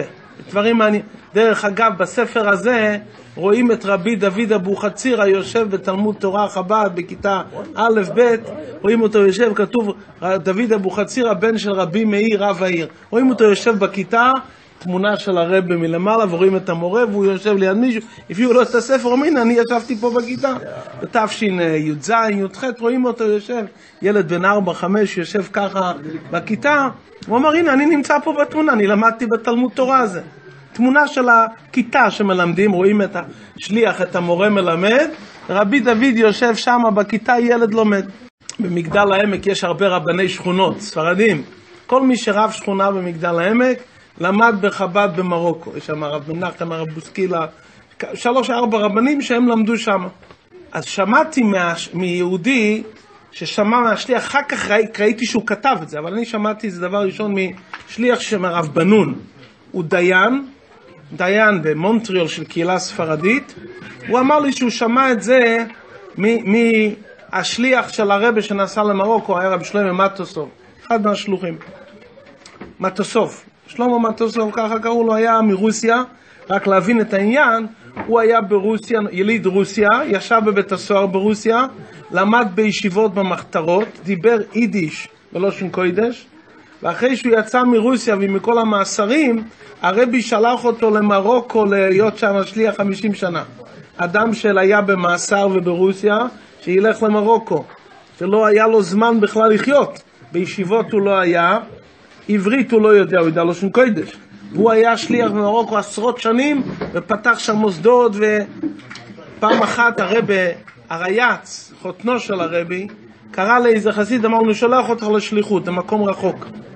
החסיד ברגע הראשון ככה היה קצת ככה, קצת ככה מבולבל, הרבי כך אמר לו. אז הרבי אמר לו, הרבי רייץ אמר לו, אני לא שואל אותך ואני לא מתייעץ איתך, כי אני מרגיש אותך עבר מאיבריי. אתה שאלת פעם את היד אם לעשות ככה? להזיז את הרגל? אתה מזיז, אתה רוצה וזה זז. אז כשהרבה אומר לשליח, אני לא שואל אותך, זאת אומרת, אם אני שואל אותך, סימן שאתה לא עבר מאיבריי. אני צריך להתייעץ איתך. אתה מסכים, אתה לא מסכים. הקירוב הכי גדול לשליח, לחסיד, שהרבה אומר לו, תלך. הוא לא שואל אותו אפילו. הרב אמר לו, אני לא שואל אותך כי אני מרגיש שאתה עבר מאיבריי. זה הקירוב הכי גדול שיכול להיות. תארו לעצמכם, אדם היה ברוסיה כל כך הרבה שנים, בקשיים איומים, בשנים הכי קשות, לא לפני 50 שנה, לפני 70 ו-80 שנה, בשנים שהיה מאסרים והוציאו להורג, 20 מיליון אנשים הרגו באותם שנים. 20 מיליון אנשים הרגו באותם שנים, בלי גוזמה, יהודים ולא יהודים להבדיל. הוא הלך. בקיצור, אני חוזר לסיפור. אז הוא סיפר שהוא הגיע, הם עברו מעיר לעיר, מכפר לכפר, ולפתוח חדרים. הם הגיעו לעיר שהבבא סאלי היה שם הרב, זה היה תפילת. תפילת. שם הוא, הוא היה הרב. הם הגיעו לבית הכנסת, הם ניגשו לגב, לראש הקהילה, ואמרו לו שהם רוצים לעשות פה תלמוד תורה ויום ראשון, אז היה מאוד אליניאס, היה כזה רשת אה, של... שהם היו אה, מלמדים תורה ומלאכה, ככה שהיו מנסים לסדר את היהודים שיהיו מלומדים, שיהיו מודרניים. אז הגבאי אמר, בעיר שלנו אי אפשר לעשות שום דבר בלי רשות מהרב. צריכים רשות מהרב, אני לא יכול לאשר שום דבר. טוב, איפה הרב גר? אמרו לו, גר פה. הם באו לבית של הבבא סאלי, שהוא היה הרב, והם ביקשו להיפגש איתו. אז ביקשה אשתו, הילדים, אמרו שהם באים, באו שני יהודים, הם רוצים לדבר עם הרב. אז הוא אמר שהוא עכשיו לא יכול לראות אותם, שיבואו אחרי ערבית. ערבית זה היה באמצע, יבואו אחרי ערבית. לבני בית הוא אמר, תכינו סעודה, הגיעו אורחים, תכינו בשבילם סעודה. זה היה דבר לא, לא, אה, לא דבר נדיר, כשהיו מגיעים אורחים הוא היה אומר תכין סעודה. לא התפללו ערבית, הם התפללו ערבית שם בבית כנסת עם, ה, עם הרב, היה הרב שנקרא, ואחרי זה הוא אמר, אחרי ערבית הם באו, הוא אמר, הכנתי לכם סעודה, צריך לאכול, לפני שמדברים צריך לאכול. אומר, והיה סעודה, הוא אמר לאנשי הבית שיכינו דגים בסעודה. שיכינו דגים, הוא אמר, הם לא אוכלים בשר, אוכלים דגים. היה סעודה עם דגים, ובאמצע הסעודה הוא קרא להם, הוא אמר לי, בדרך כלל אני מכין גם בשר בסעודה, אני לא הכנתי בשר, כי אני יודע שאתם מקפידים לאכול רק אם אתם מכירים את השוחט. וגם אני מקפיד על זה, רק משוחט שאני מכיר. מכיוון שאתם מקפידים על זה, אז לכן לא ביקשתי שיאכלו לכם בשר. זה היה ההידור אצל חסידים, שלא אוכלים משחיטה שלא מכירים את השוחט. או את השוחט, או את הרב המכשיר, שיש היכרות אישית. שמעתי פעם מהחסיד, המשפיע רבן פוטפס, שהוא סיפר, זה חלון אחר, שסיפר שפעם אחת, פעם אחת הגיע איזה רבה, איזה אדמו"ר, הגיע לאיזה עיירה חסידית. היה בעיר רעש, הגיע אדמו"ר חסידי, ובערב שבת הוא עשה טיש, הוא עשה כזה שולחן שבת. נו, ובעיר לא כל יום מגיע אדמו"ר לעשות סעודה וכולי, אז כל הילדים הגיעו לראות איך זה נראה. נו, והיה שולם עליכם עם ניגון וקידוש, דגים וכולי, והסדר היה אצל, ה, אצל, ה, אצל אותו אדמו"ר, אצל אותו הצדיק, שאחרי הדגים הוא היה מחלק שיריים למישהו, למי שהיה. נו, אחרי הדגים הוא נתן, הגבאי נותן מכה לשולחן, והוא אומר, שיריים, מי רוצה? איפה? נו, הילדים רואים צדיק מחלק זה, כל אחד מהצלחת נותן לו כפית שייקח את הדג, נו, הוא אחר כך היה זמירות והיה מרק, הגישו צלחת גדולה של מרק, ואחרי שהצדיק, אותו אדמו"ר שאתה אכל, שתה קצת מהמרק, הוא שם את המרק בצד, אז הגבאי שלו נותן דפיקה, שיריים. נו, וכל אחד עובר, והאדמו"ר נותן לכל מי שרוצה בכפית קצת מהמרק. נו, היה שם ילד שהתחנך בבית חסידי שהיה בחב"ד. הוא ידע בבית, לא אוכלים דברים, כל דבר שאוכלים צריך לדעת את הכשרות. נו, הוא היה, עבר בתור ליד הרבה, כשהרבה נתן דגים הוא אכל, כשהרבה נתן מרק זה היה מרק בשרי. היה אדמו"ר עם זקן לבן, אדמו"ר חשוב. אז שהוא ניגש והרבי ככה, אותו אדמו"ר עושה ככה ומחכה שיפתח את הפה, אז הוא שואל את האדמו"ר, ורי דשויכת? מי, מי השוחט? מי שחט? מי, מי היה השוחט? הגבאים והחסידים רצו לבלוע אותו. הרב מחזיק את הכפית ביד, אחרי שיפתח את הפה, לצעוק לו בתוך הזה את המרק מהצלחת שלו, הילד רוצה לתת לו, והוא שואל ויהיה השוחט. נו, הרב אומר לך תיקח. אז האדמו"ר אמר לא, לא, לא, לא, הוא לא שואל, הוא לא מכיר את השוחט, הוא לא אוכל, כך צריך להיות. הוא לא נתן לו, אמר זה בסדר גמור, כך צריך להיות. לא, לא... אז המשפיע שלנו, רבן צור אמר, הזהירות אצל חסידים בכשרות להיזהר, אמרו אם לא, אני חוזר לסיפור הזה, אז הבבא סאלי אמר, אני מכין בשר, אבל אני אמרתי שיכינו לכם רק דגים, כי גם אני לא אוכל רק אם אני מכיר את השוחט. נו, והיה סעודה, ברכת המזון וזה. אחרי ברכת המזון הוא קרא להם, בשביל מה באתם? מה, אתם, מה, מה באתם? אז הם אמרו שהם באו בשליחות של הרבה לפתוח תלמודי תורה בעיירות שאין תלמודי תורה. אז הוא אמר פה, אז הרב סל אמר, פה בעיר יש תלמוד תורה? הוא נכון, אבל הרב אמר לפתור, אמר בסדר, אמר, מה, מה תלמדו שם בתלמוד תורה? הם לא ידעו מה, מה להגיב. כשאדם מגיע למקום הוא צריך להיזהר, הוא לא יודע לספר את הכל, לא לספר את הכל, הוא לא יודע מי עומד מולו, מדובר בתש"י, תשי"א, י"ב, מדובר בשנים, לא הכירו, הם לא ידעו, לא, יש רב, לא ידעו מה הוא ירצה, מה הוא יגיד. אמרו, אנחנו נלמד את הילדים בעזרת השם פרשת שבוע, משניות, ומה עוד? מה עוד? פעם נלמד אותם גם גמרא, גם גמרא, על איזה גמרא? הוא נלמד את הגמרא הזאת. ומה עוד? נלמד אותם גם הלכה. ומה עוד? והם רואים שהוא, שהוא, שהוא מושך אותם בלשון, הוא רוצה לשמוע משהו מעבר לזה. שהוא רוצה, צריכים שתדברו איתי ברור מה אתם רוצים, אל, ת, אל תסבנו אותי, מה, מה אתם רוצים? ומה עוד? מה עוד? מה עוד? נו, אז הם ראו שהוא שהוא כזה, ואנחנו לומדים אותם שם גם תניא. תניא? אני מסכים שתפתחו תלמוד תורה. הוא אמר ככה, הוא אמר, סעדי במרומים. זה שמעתי גם מרב שלמה מטוסוב וגם מתלמיד שלו. סעדי במרומים. מעולם לא עליתי על יצואי לפני שעיינתי ולמדתי בספר התניא. אמר, הוא לא מש מהשולחן שלי שום לילה, ומעולם לא עליתי על יצואי לפני שעיינתי ולמדתי בספר התניא. מעולם, הסעדי במרומים. מעולם לא עליתי על יצואי לפני שעיינתי בספר התניא. זה סיפור ששמעתי מהרב בנון, שמע ממטוסוב, מהרב מטוסוב עולו ושולם, אחר כך ראיתי שהילדים שלו מספרים את זה גם. אמר, תפתחו. כלומר, חדרים רגילים, אתם רוצים לפתוח משנה, גמורה, יש לי כזה חדר. אם תפתחו תלמוד תורה, שילמדו שם מתניה, בסדר? בשביל זה אני צריך אתכם. סתם תלמוד תורה, יש לי פה תלמוד תורה, אני גם מלמד את הילדים בעיר שלנו, יש תלמוד תורה.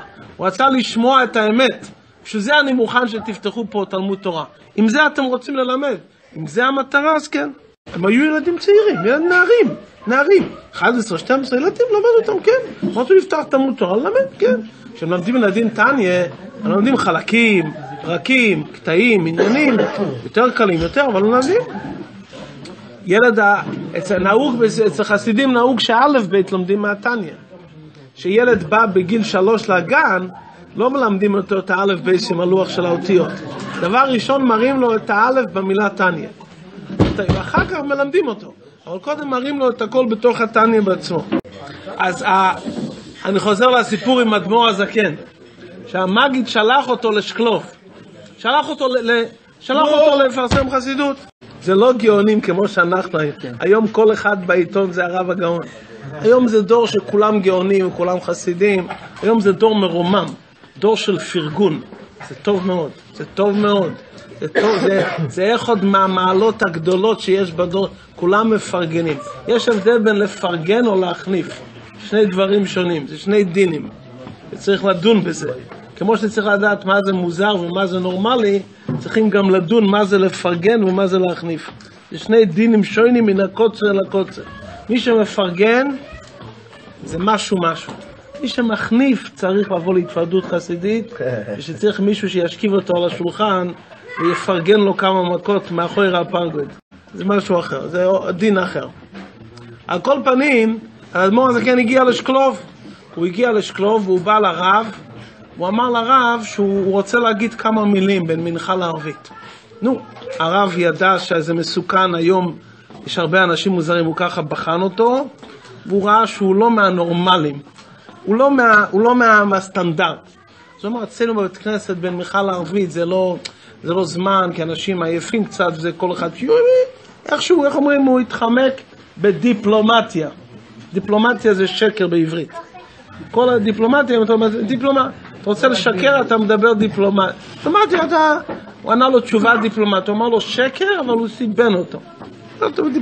אז הרב אמר לו ככה, אתם, סיבן אותו, בלשון העולם, ערבב אותו על דרך הסוד.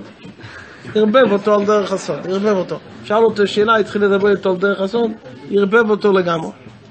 נו, אדמו"ר הזקן ראה שהרב שמה מעורבב בעצמו. אם הוא מערבב את אדמו"ר הזקן, אז הוא מעורבב. אני מוסיף את זה מעצמי, זה לא הסיפור. ככה אני מבין את הסיפור.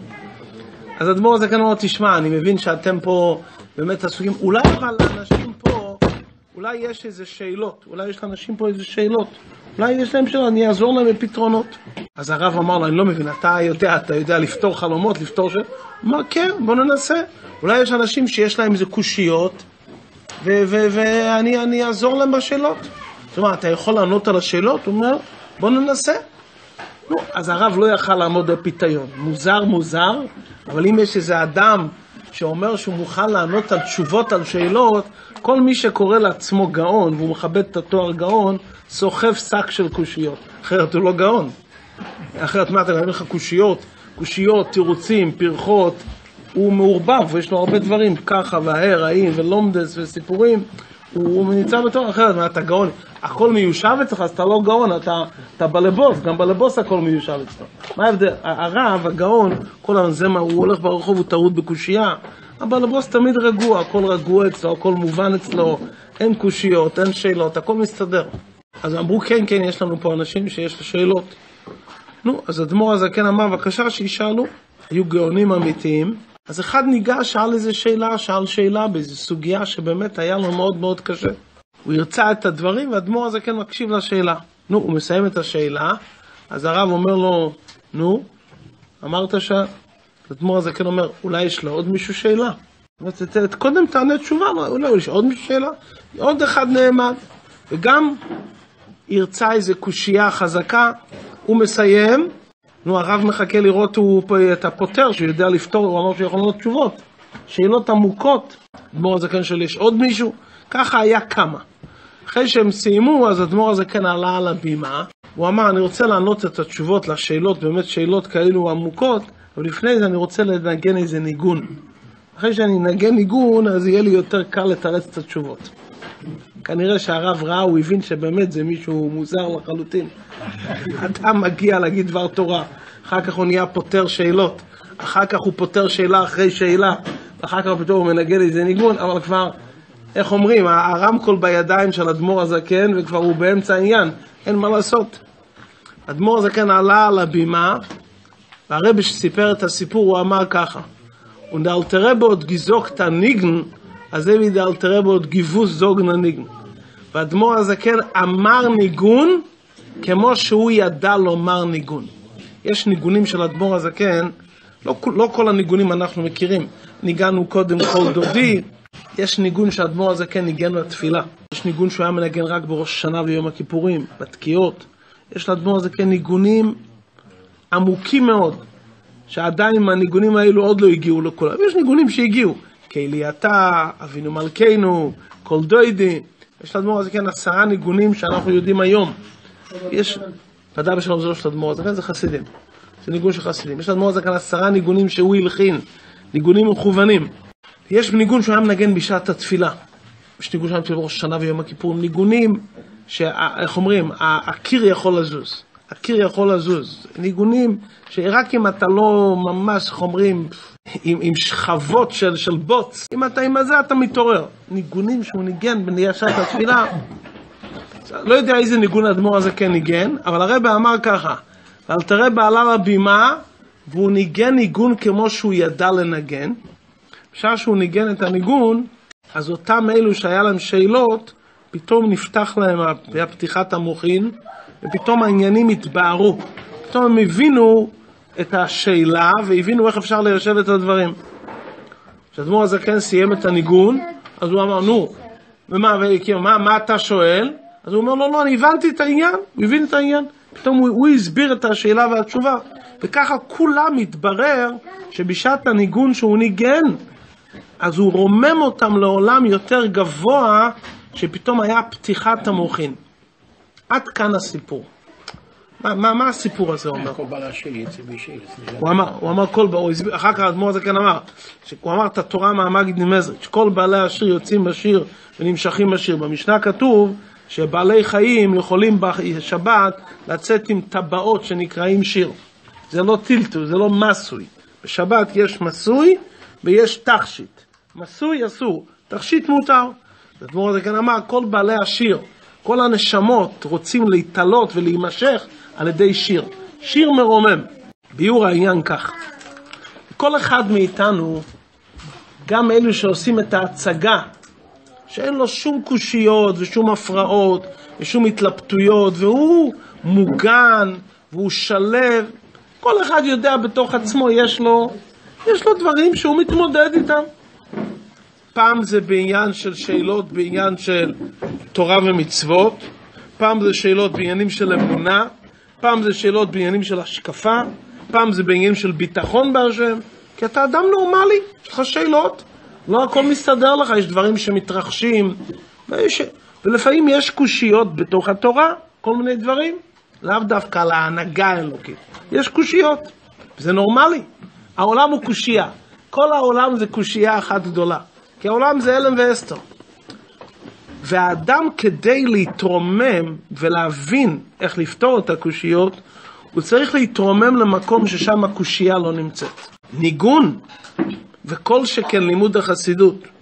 לימוד החסידות זה כל שכן ניגון חסידי, לא ניגון חסידי, מה שהיום נקרא ניגונים חסידיים. לא, לא, לא הכוונה הזה. לימוד חסידות עם ניגון חסידי מרומם ויכול לרומם את האדם לכזה מקום מואר שאין קושייה. אין קושייה. לחיות עם לבטים וקושיות והתמודדויות, להתעלם מהם, לברוח מהם, או למרוח את עצמך עם תירוצים שאתה לא מאמין בהם, לא זה הכוונה. יהודי בן תורה צריך להיות מואר. מואר, מואר, לחלוטין, לחלוטין. צריך להיות מואר. הוא צריך ללכת בעולם הזה לא באופן שהוא מצפצף על מישהו, או לועג על מישהו, או דורס על מישהו. לא, לא זה הכוונה. הוא צריך להיות כל כך חם ומואר ונעים עם המקום שאצלו חדור בעבודת השם, שהוא רוצה לרומם את כל העולם, רוצה להגביה את... יש מהחסידים של אדמו"ר הזקן, הוא אומר, שמעתי את המאמר ויצאתי החוצה ורציתי לצעוק לגוי, השם אחד. היה לאדמו"ר הזקן חסיד יקותי ליפלר, שהרבר היאץ מספר ברשימות, שהוא היה לומד מאמר ופתאום זה העיר אצלו העניין, זאת אומרת השיינגיטון, זה, זה הבזיק לו, הוא יצא החוצה והיה רואה את הגוי שמחלק דואר, הוא עשה איתו ריקוד ברחוב. שאלו אותו, מה אתה רוקד? הוא אמר, העיר אצלי, העניין העיר אצלי. זה העיר אצלי. הוא יצא לרחוב. זה קורה פעם למישהו מאיתנו לא לצאת לרחוב, בתוך הבית מדרש לרקוד עם מישהו באמצע הבית מדרש. לא לרקוד כי מצווה לי בשמחה. לא, לא. מה? לא לרקוד כי מצווה לי בשמחה. אתה רוקד, כן? או, מצוין. אבל לא ברחוב, אבל לא ברחוב. אוקיי, עוד לא יצא. אבל בבית מדרש כבר יצא לך שרקדת. יצא לך שרקדת. על זה שזה... שמחת, בסדר, מצוין. שמחה שראויה לריקוד. יפה מאוד, יפה מאוד, יפה מאוד, יפה מאוד, יפה מאוד. יפה מאוד, יפה מאוד. אז ככה צריך להיות ההתחלה. כן, אבל איך קוראים לך, צדיק? זה שרקדת מהסברה זה כך צריך להיות מצוין. ככה צריך להיות. כשאדם רוקד, כשהוא מבין עניין מסוים, אז הוא רוקד מזה שהוא הבין את העניין, ברוך השם היה לו פתיחת המוחין. יש ריקוד שאדם רוקד מזה שהאור האלוקי אצלו מהתעוררות. זאת אומרת, שאדם רואה עניין אלוקי.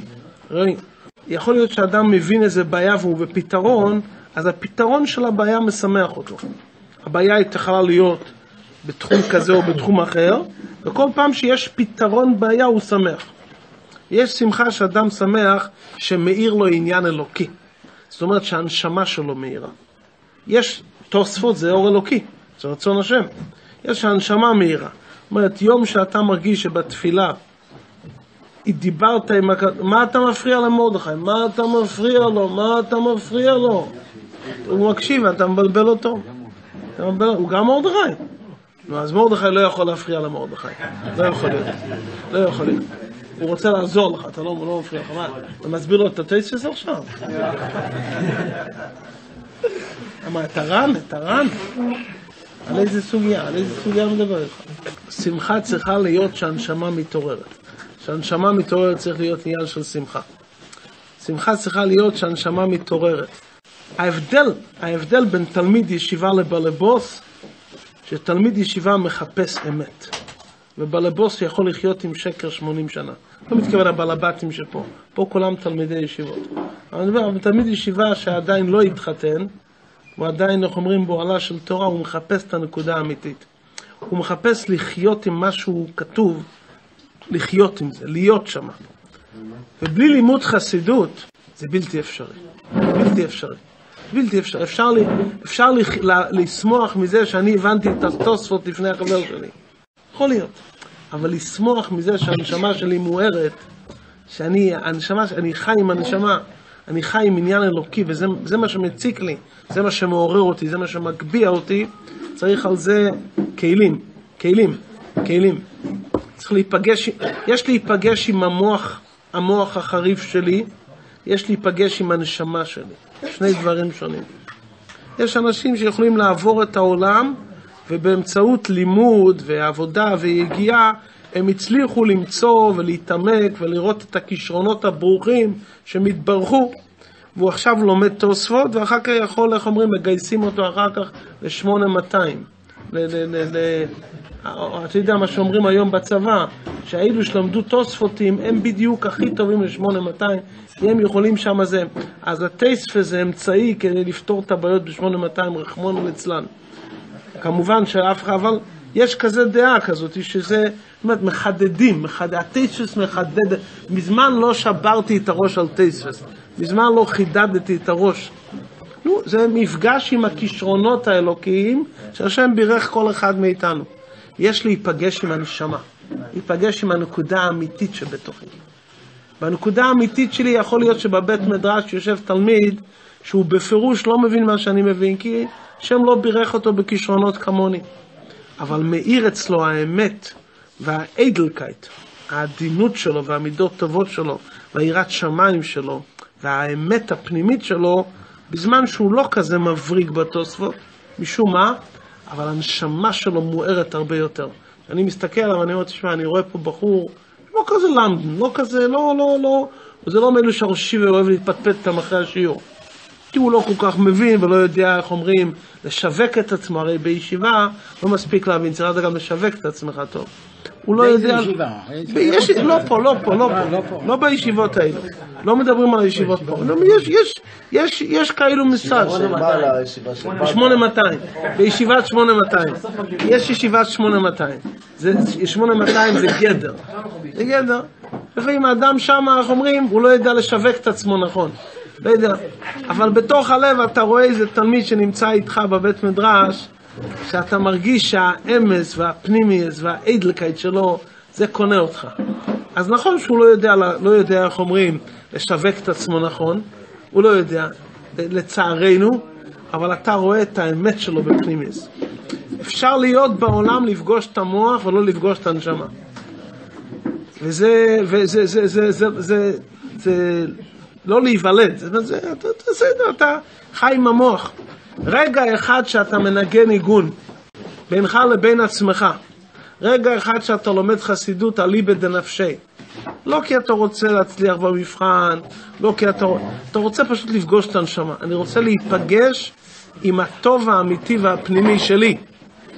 הרגע הזה הוא רגע נקי, טהור, אמיתי, הוא רגע שלא יסולא בפז. הוא לא רגע שנמכר, הוא לא משווק, אבל זה משהו אמיתי ופנימי. יוטס קיסלב, אחד הדברים ש, שחסידות גמר להוריד את הבלוף מאלומה זה.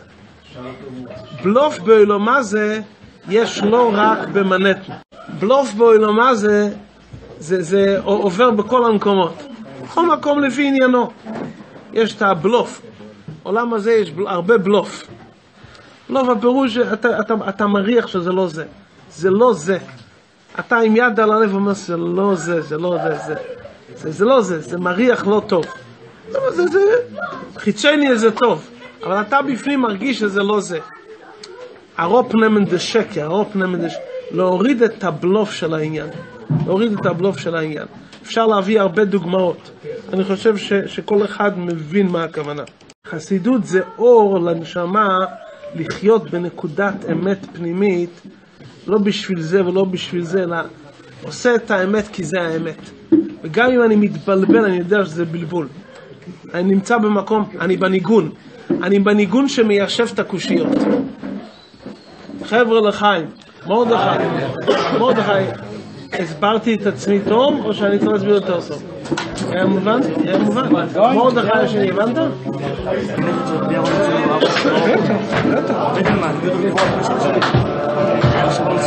שמעת? היה גוף שלם. לא ראית בתמונות? לא, הוציאו אותו מהארון. הוציאו אותו מהארון. הוציאו אותו מהארון, רואים גוף שלם לגמרי. תמונות, אתה גם בכל האתרים. מה אמר היה בהלוויה? זה לא היה בידיעתי, הוא התחיל לנגן פה. שנייה. היה לי סבא, סליחה, היה לי סבא רב. מישהו היה באמצע השנה של אבלות. הוא שאל את סבא שלי אם הוא יכול ללכת להתוועדות. סבא שלי אמר לו, התוועדות זה זמן להתעורר בתשובה. ואדם שנמצא בשנת אבל, זה צריך להתעורר בתשובה. תלך להתוועדות כי זה זמן של התעוררות תשובה. אז אם אדם הולך להתוועדות להתעוררות תשובה, זה מדם כתשובה.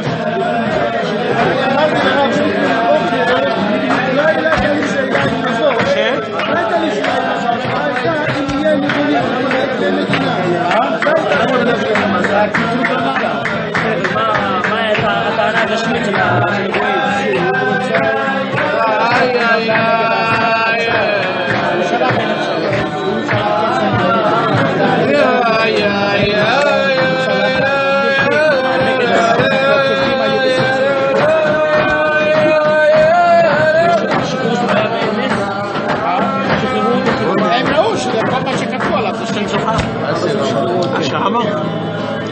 שזה איפה אתה לומד? יש לכם שיעור תניא בישיבה? לא. איך אתם מעבר? אבל יש תניא, אבל יש בחורים, יש תניא. אבל יש לנו שיעור או אין שיעור? אין שיעור, אין שיעור. משוואה של... תקראו לי, אני בא סטיידר, לבדוק. אוכל סטיידר. אז שם תראו אותנו. לא, השעמה זה יהיה בלגן. איזה בלאגן יהיה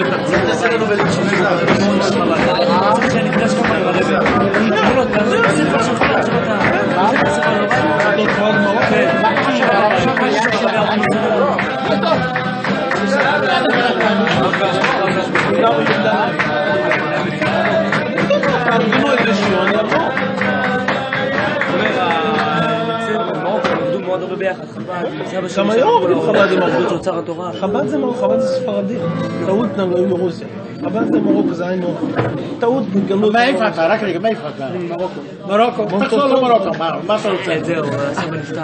אה? כל- כל היהודים עלו כבר. זהו, כבר אין מה שיש פעם. הם רוצים לעשות תניא, תעשו שיעור כן,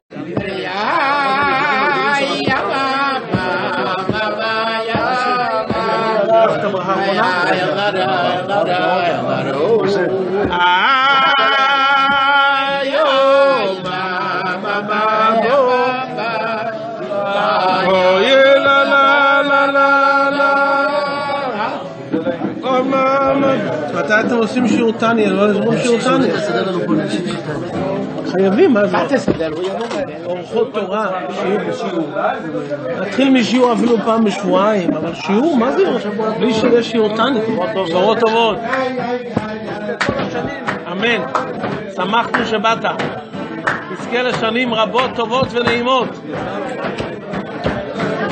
איי,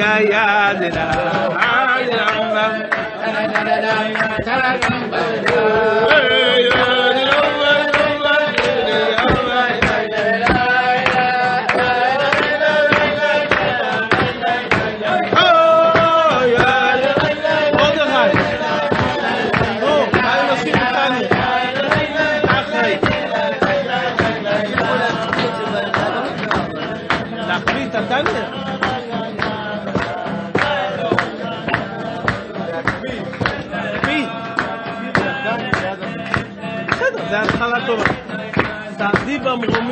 לא עליתי על יצואי. זה אמר הבבא סאלי בצחי מידע. סעדי במרומים. לא עליתי לפני שעיינתי בספר. הבבא סאלי קדוש שבקדושים. לא עליתי לפני שעיינתי בספר.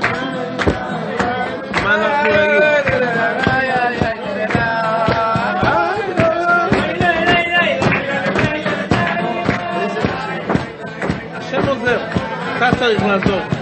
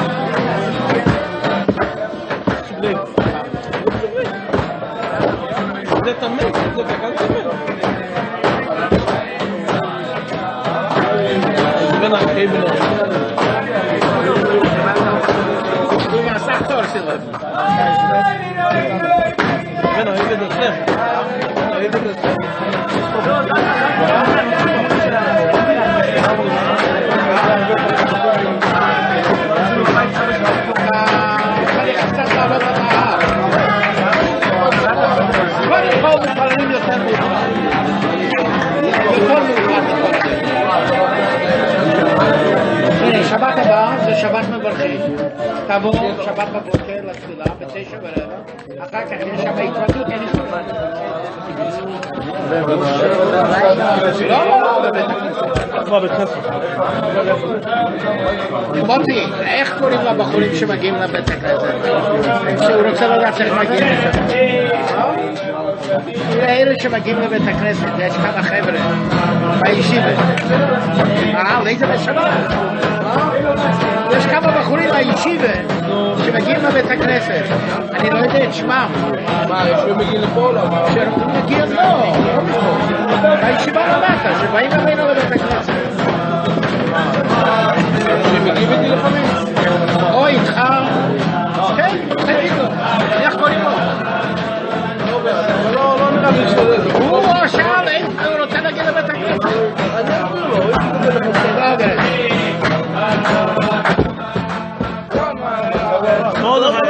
לו, מרדכי רוצה לעשות שיעור טניה פעם בשבועיים בליל שישי. אחרי הסדר.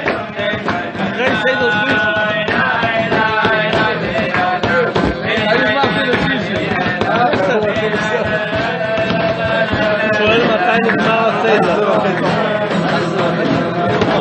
הוא ב-11 וחצי אפשר שם. פעם בשבוע, פעם בשבועיים.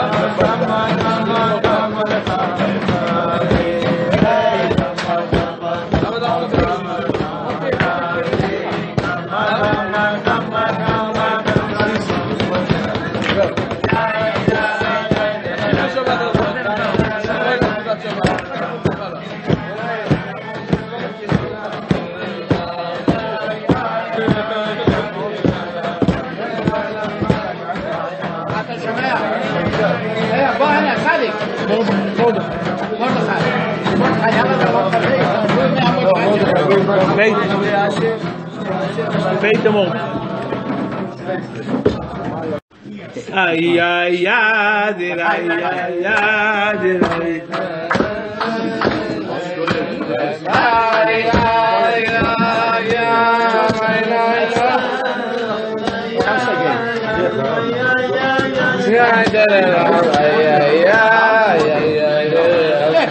רחמונו ליצלן, הוא שלי מכה הבן שלי. רחמונו. הוא הונגרי.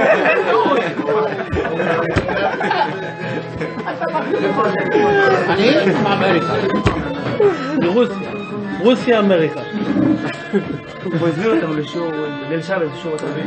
אה, ליל שבס? שבס, לא ליל שבס. Dein Essen, dein Bier, Stuhl. אוקיי, בסדר. סידרנו אותו, בער טלפון מהכל. אוקיי. התחלה טובה. שנייה, שנייה. בירכתם? בירכתם? בירכתם ברכה אחרונה? ברכה אחרונה. נקבע שיעור הרב יגיע? אם יש שיעור אני אבוא. אני אגדל להם. בעזרת השם. Academic is not a problem. כמה זה גיל? Ich sag, wie soll man dann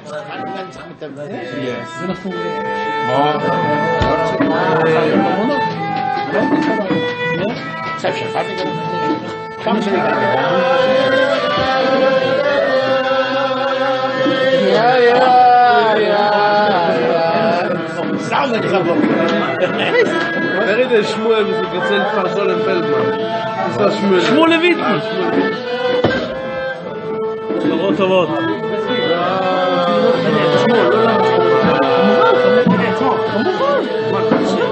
כמו שלומדים.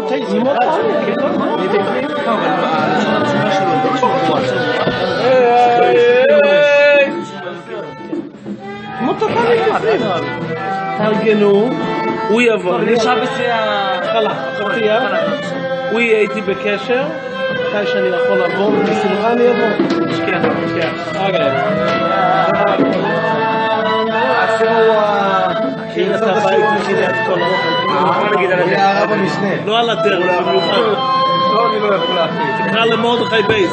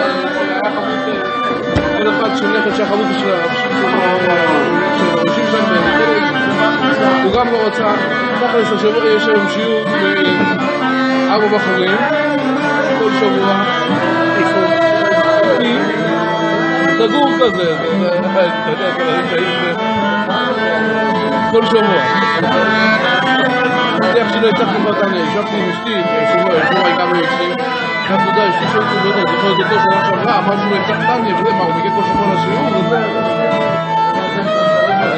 לא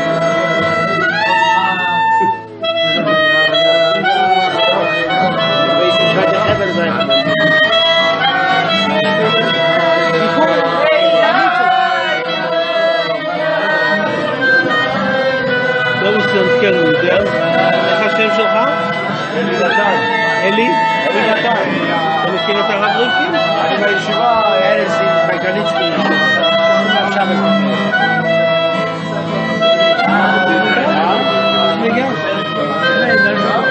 היית פעם במגדל העמק בישיבה?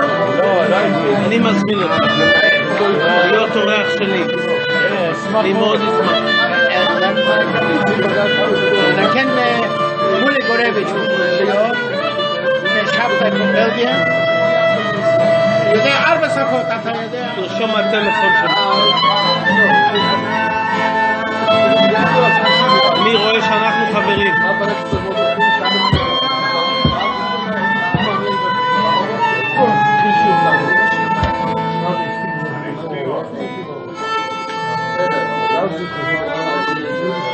את השמירה. השבוע אתה מתקשר אליי, שבוע הבא אתה אליי לשבת. יש לי הרבה מה לדבר, המון. המון. המון. וגם יש שידור. יש לי איזה כלה שמחכה. Oh,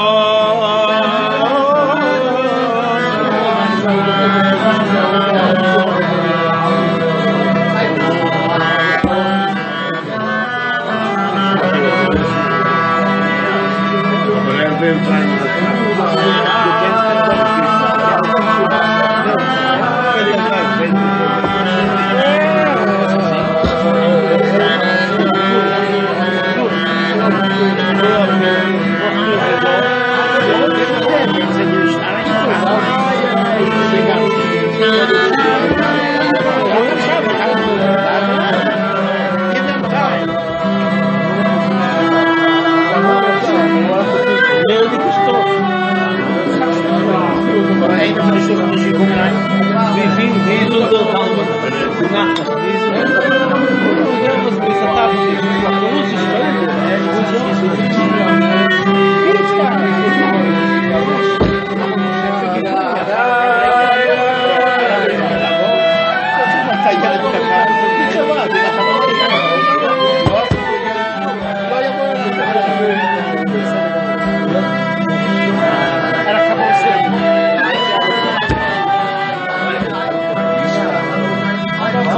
يصير يفتح فهمتني العمى متراضي الخلط يعني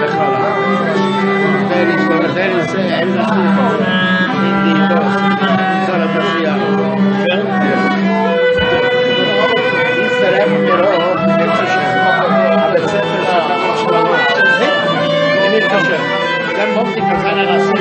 Aber Zepter ist auch ein Schlauch. In mir Hashem. Dann kommt die Kasana Nassim, זה זיינס. נישט מלחמת. דאב דור לך דור לך. דעם דאב דור לך. חיין. dann was noch rein. Ich bringe mir noch was vor. Das ist so sein. Der Kupfermann. Sie ist aber ehrlich. Sie ist ehrlich. Ja, ich sag das,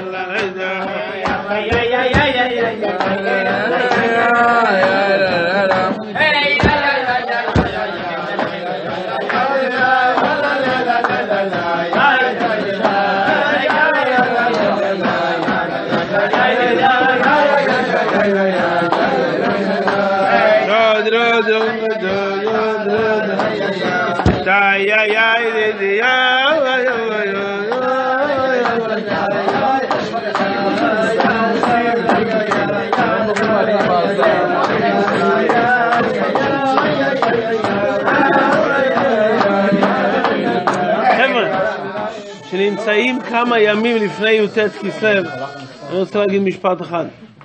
לפני י"ט, שני משפטים גם אפשר. לפני י"ט כסלו, ראש השנה, צריכים להתכונן.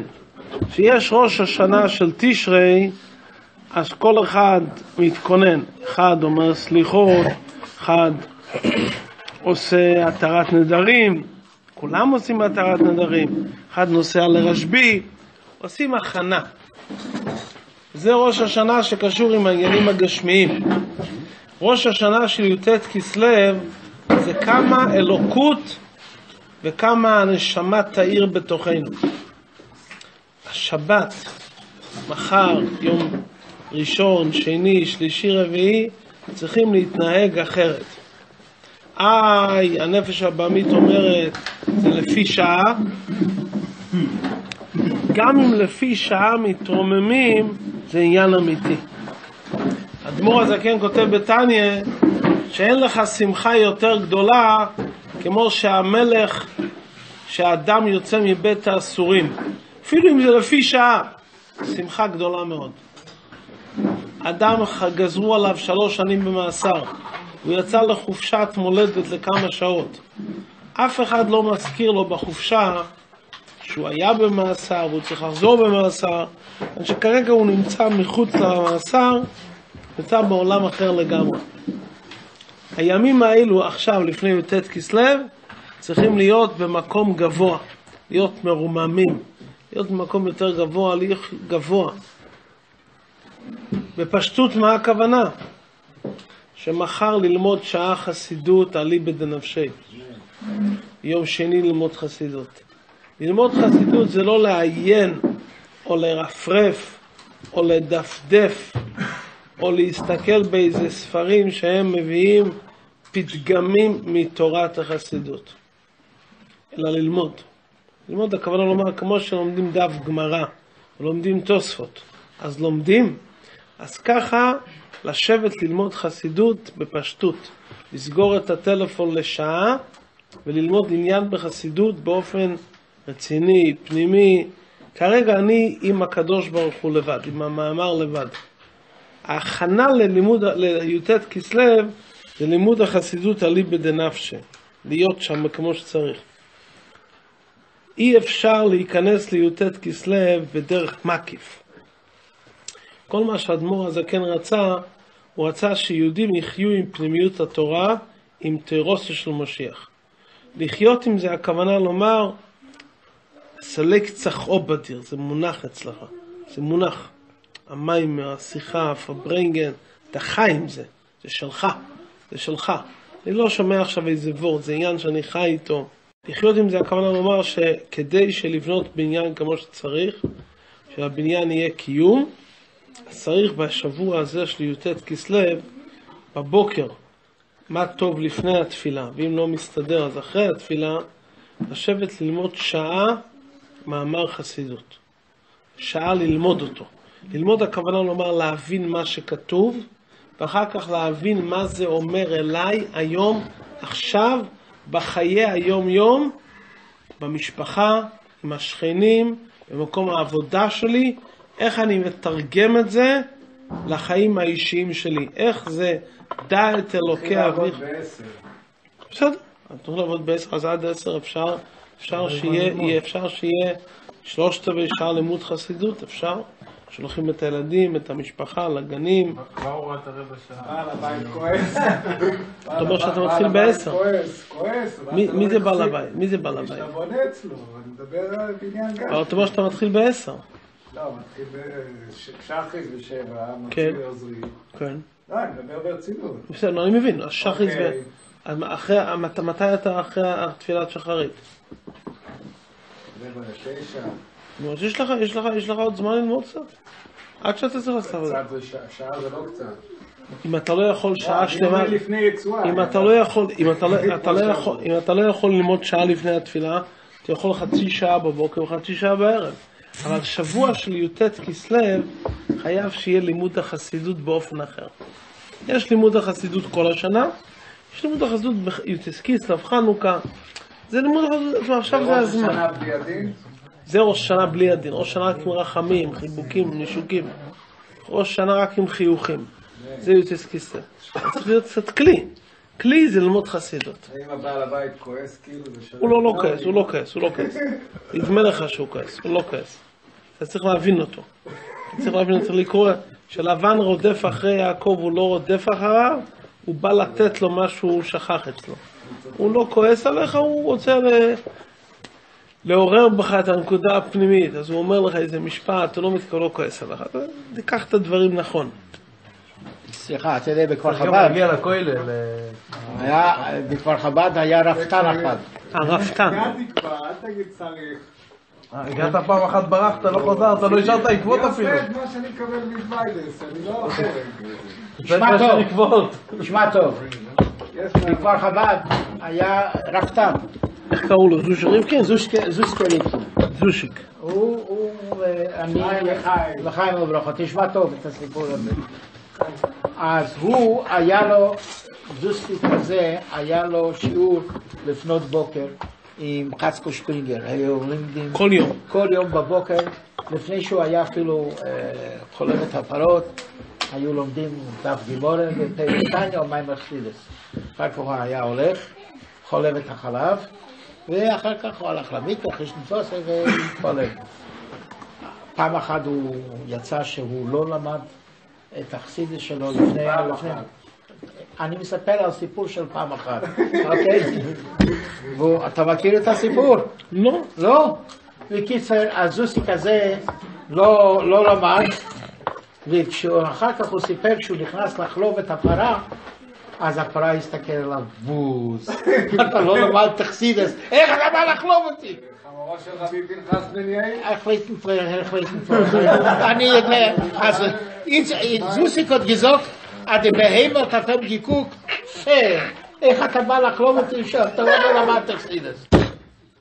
אה? שמעת את זה? אני שומע עכשיו. אני לא יודע אם היא הסתכלה עליו. לא הסתכלה עם עיניים של בוז. אני לא יודע אם היא הסתכלה עליו. נו. אני יודע שזה מה שהוא ראה, מה שהיא מסתכלה. מה שהוא הרגיש. שהוא שיהיה הרגיש. אותו סדרות.